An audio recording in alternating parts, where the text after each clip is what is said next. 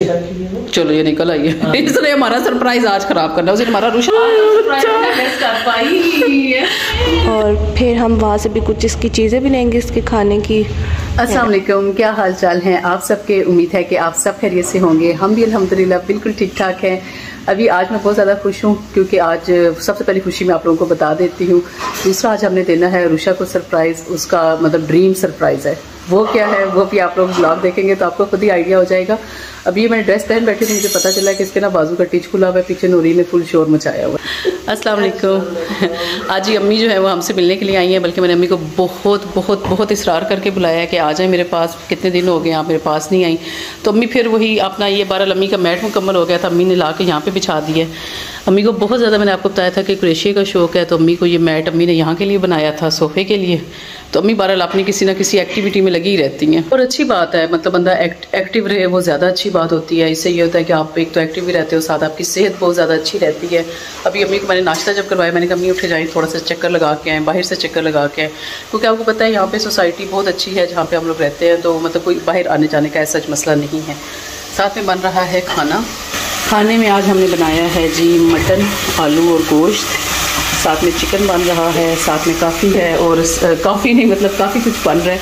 साथ में पास्ता बना के वो नीचे रख दिया आज हमजा की फरमाइश थी कि बाजी नूरीन आपने मेरे लिए ना वो वाला बनाना है।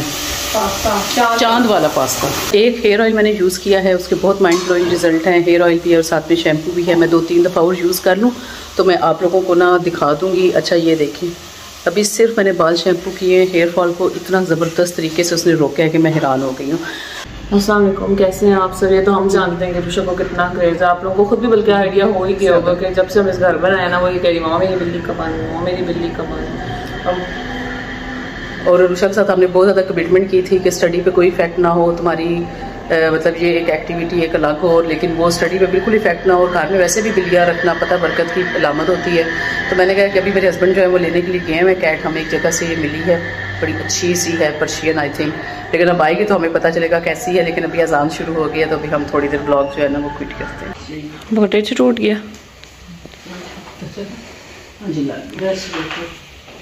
अच्छा जी मेरे हस्बैंड जो है वो बिल्ली लेके फ़ौरन हमें दे के चले गए हैं क्योंकि मलाइका वो बाबा उधर चले गए ना रुशा लोगों को लेने। कितनी यार ये माशाल्लाह से माशाल्लाह माशाल्लाह दो चार नाम सोच के रखे हुए हैं। इधर देखो। चार नाम सोच के उसका नाम था नीमो। नीमो? हाँ नीमो। हाँ। चलो इसे ना अंदर ले चलते हैं। अभी इसको शावर वगैरह भी दिलाना है लेकिन मलाइका मुझे ये बताओ। मलाइका अंदर इसे ले चलो ऊपर कमरे में। रुशा के ना रूम में ले चलो रुशा के बेड पे रख देते हैं ना।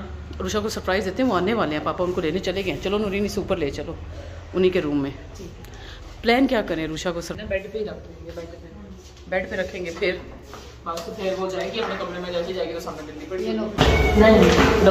अच्छा इसने मेव में इतनी इसने कर दी तो फिर क्या करेंगे? अच्छा जी रुशा आपको पता है एक तो माशाल्लाह एक्स्ट्रा ऑर्डिनरी हमारी माशाल्लाह से चला के और अब उसके लिए हमने बिल्ली का सरप्राइज़ जो है वो किस तरह प्लान करना है, या तो उसके आते ही हमारी स्माइल निकल जाएगी। क्योंकि हमें पता है कि रुशा को किस कदर किस कदर किस कदर ज़्यादा क्रेज था। वो वो रुषा की बेड पे चढ़ गई है। ये इसने बोल रहे उन्हें तो फिर वो अल्लाह थल्ला चली गई। वो नीचे चली गई। वो किसके नीचे? वो साइड टेबल के नीचे वो बेड के नीचे वो बेड के नीचे चली गई है। अब क्या करें? क्या करें? यार टाइम सवा दो हो गए उनके पाँच मिनट रह गए उनके आने में पुरुषा के बेड के नीचे ही चली गई। अब क्या करें? वो निकलेगी ना। हाँ। तो उस वैनिटी के नीचे छोड़ दो। से वहाँ पे छुपाओ इसे। उसके नीचे। चलो छोड़ दो से आप देखते हैं कहाँ जाती है। यहीं पे छुप जाएगी देखना। हाँ उधर नीचे बैठी हम्म। थोड़ी देर सो जा। सान को आखे ना थोड़ी देर सो जा। ऐसी सो जा।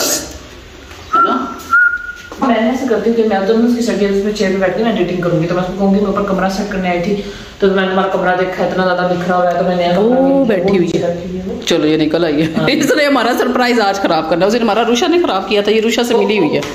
ये रुषा के कमरे में सारे जायजे ले रही है ना एक कमरे में रखना होता ना मैंने गूगल पे पढ़ा था कभी फ़िलहाल ना एक ही कमरे में फिरती रहे शुक्र सन ब्लॉक लगा कर आई कहाँ है? अभी तक आए नहीं है। अब तक तो आ जाना चाहिए था।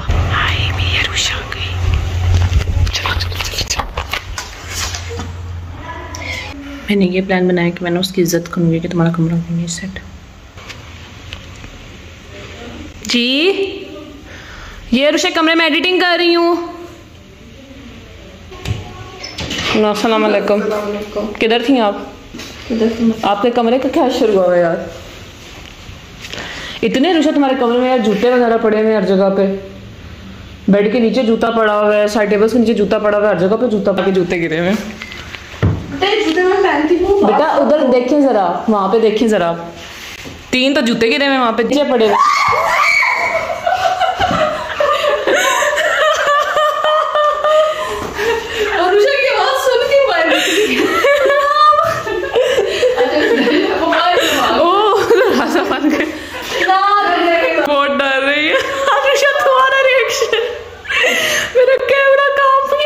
निकालो। हमसे तो निकाले ही नहीं जा। अरुषा नहीं. अच्छा इधर देखो चलो? हमजा किधर है? सरप्राइज़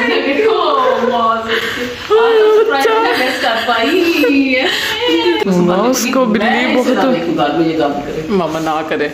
वो हमने नानों से पूछ लिया कैसे ट्रेनिंग देनी चलो ना उसको निकालो उसको देखो भी। इधर देखो मीटर मुझे तो डर लगता है। ना ऐसे इधर नहीं बेबी है वन मंथ की है सिर्फ़। छोटू सी है। बेड के नीचे है बोले वहाँ बैठती हूँ डर डर के फिर नीचे बैठती हमें समझ ही नहीं आ रही हम उसको काम कर। हमने सोचा था हम बेड पे रखेंगे। अस्सलाम वालेकुम। किधर हो आप? बटन ही नहीं बंद किया आपने? अंदर नहीं जाना अभी अंदर नहीं जाना पुरुष अंदर ड्रेस चेंज कर रही है। इधर देखो आप मेरी तरफ़। कैसा रहा आपका स्कूल में दिन? बहुत अच्छा। शर्मा क्यों रहे हो इतना? बता दो। अच्छा मुझे बताओ क्या सीक्रेट पता आपको? मैं जी? हमजा जाओ। एक मिनट हमजा भी नहीं अभी नहीं हमजा। हम तोड़ दिए। वहाँ पे रुशन है हमजा की बिल्ली हमजा इधर देखो थैंक यू बोलो मम्मा को वो डरी हुई है वो डरी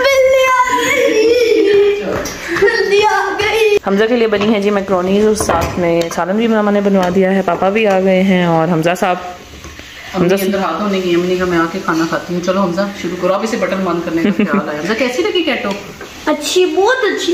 है ना? प्यारी है। कहाँ से ऑर्डर करी है। ऑर्डर पापा लेके आए हैं। प्यारी है प्यारी है। पापा कहाँ से लेके आए? पापा ने अपनी फ्रेंड को कहा हुआ था ना? प्यारी है। वो अच्छा आप बिल्ली पसंद आई है? मुझे बहुत पसंद आई है। मैंने तो एक्सपेक्ट नहीं किया तो मुझे समझ बर्थडे मुझे बहुत पसंद आई है। मतलब बिल्कुल बिल्कुल उतना बिल्कुल एक्सपेक्ट नहीं किया था। माशाल्लाह बहुत अच्छी है। तो इंशाल्लाह। मैंने अभी गूगल पे सर्च किया तो आया दो से तीन हफ़्ते लगते हैं बिल्ली को किटन को कंफर्ट करने में। तो कंफर्ट पहले हमारे साथ घुलने हो में फिर आहिस्ता आहिस्ता उसकी ट्रेनिंग और हैं, हो उसे अभी हम उषा और तो बिल्कुल माशाल्लाह से पहले ना लिटरली वो दोनों कमले हो गए हैं। उनका सिर्फ़ ख्याल जो है वो कैट की तरफ़ है दोनों आए हैं ऊपर चले गए अब उन्होंने खाना शाना खाया वो फिर ऊपर चले गए। अब उनको मैंने पकड़ के सुलाया और हमजा को तीन चार मैं धमकियाँ लगा बैठी हूँ कि अगर हमजा तुमने सोए ना तुम दिन के टाइम अगर तुमने स्टडी ना की तो मैंने कैटो को वापस भेज देना। वो भाग के गया, जाके सो गया। अगर आपके भी बच्चों का कुछ ऐसा वीक पॉइंट है तो आप लोग एक तो मेरे साथ शेयर भी कीजिएगा।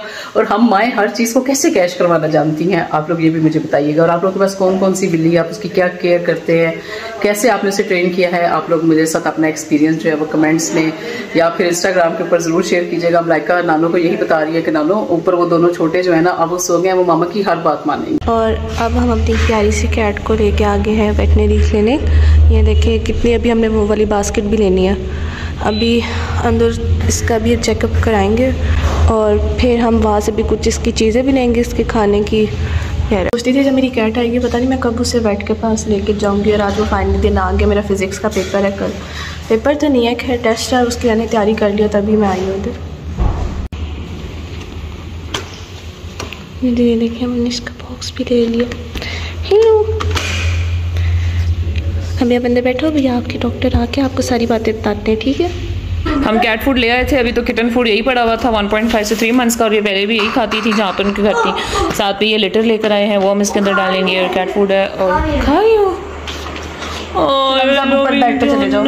हमने जी नाम रखा है शुगर क्योंकि वो वाइट भी है ना पहले हमने सोचा था एंजिला नाम रखा लेकिन वो पापा को पसंद नहीं आया। तो शुगर जो है ना नाम वो दैट्स गुड ओ खा रही थी कुछ शुगर? शुगर? सब खाने दे आराम से। और जब हम पिछले घर में भी थे ना तो हमने जब कैट रखी थी तो उस वक्त मैंने कहा था कि हम नए घर में जब जाएँगे इन ताला जब अल्लाह ताला मुझे नया घर देंगे तो हम आग पे कैट रखेंगे और उसकी अच्छी सी यानी कि बिल्ली लेके आएँगे और रूशा को ना सरप्राइज़ देंगे। बच्चों के जो जायज़ ख्वाहिशात हुआ करें, जो बातें हुआ करें, इसको ज़रूर पूरा किया करें। यूँ तो एक ज़ाहिर आपके बच्चों के साथ बॉन्डिंग बहुत अच्छी हो जाती है और साथ में ना बच्चे जो हैं वो वो भी बहुत ज़्यादा जो है एक साइड पे भी लग जाते हैं। केयर करेंगे, इनको खुद भी कुछ ना कुछ मेच्योर होते जाएँगे, साथ इनको एक्टिव भी रहेंगे। और ज़ाहिर आपको पता है कैट्स घर में रखना बरकत की निशानी भी है।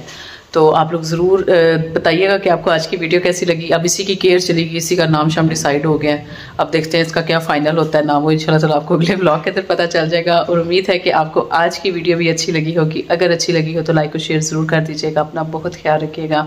और हमें भी दुआ में हमेशा याद रखा करें। इन मिलेंगे अब आपसे अपनी नेक्स्ट वीडियो के अंदर। तब तक के लिए अल्लाह हाफिज़।